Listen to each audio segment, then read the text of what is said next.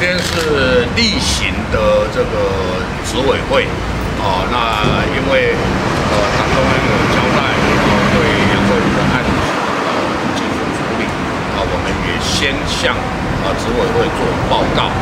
那经过在场出席的执委呃一致决议啊，啊，我们做了以下的这个声明，呃，因为这个案子已经进入司法审理的阶段。啊，所以台北市党部对司法审理的结果表示尊重，也希望能够尽速处理，理清真相。那第二呢，呃，依照本党的纪律评议条例，呃，我们执委会会依照职权来进行调查，之后再依相关的规定来处理。就我们今天等于说是在会说。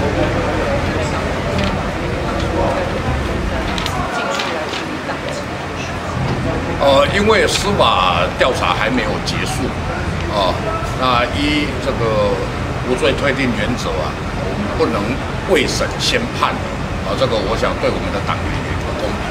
那我们也希望司法单位能够尽速呃这个呃理清，啊，让这个真相大白。所以你怎么样来处理？那今天没到呃，还没进行到那个程序。下次还有。呃，我们会看司法调查的结果再来做决定。我们还有下次的会议在本周。呃，我们是例会是一个月开一次。是下个月开。呃，也不一定是下个月，那要看司法程序进行到什么阶段。对，呃，我们呃一审定案有一审定案的处理方式，呃，判刑确定有判刑确定的处理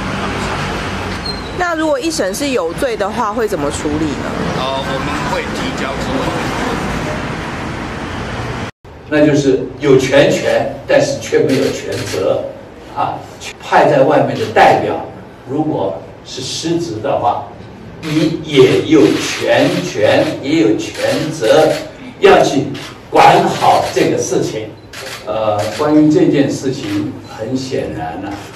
啊，在那段时间里面，对于苏启成部长后来的这个情况有一些影响，我觉得非常遗憾。我这边有两点意见：第一，网络的发展，坦白讲是一个开放社会一个非常重要的一个现象，我们应该尊重。但是我也希望我们网。不要去被少数人操纵，这也是我们的期待啊！尤其是用来做一些政治上的操作啊，让我们的民意解读的效果失真，这个才是我们大家应该要重视的事情。我在这边特别提到，我过去跟谢长廷先生蛮有一些交往，但是。我们驻外的代表几乎就是全权特命的一个职务，所以当时发生这个事情的时候，让苏处长是一个非常优秀的外交官。我过去也跟他有接触，他是一个非常对于日本的情况非常了解的一个外交官。但是，竟然我们的代表的本人讲了一句话。而那个地方我管不了，既然是特命全权的代表，怎么可以说他对那个事情他他不了解，或者他管不了？那就是有全权，但是却没有全责啊！全权的意思就是要有责任。所以我们未来的总统，既然人民选了你以后，包括。派在外面的代表，如果是失职的话，你也有全权，也有全责，要去管好这个事情。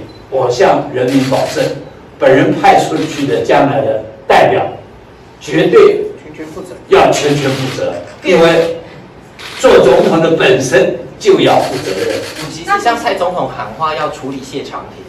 我不是这个问题啊，呃，如果好好的不对这些事情让人民放心的话，哎，好像还不到两个月了，是，我们就可以换人了。好。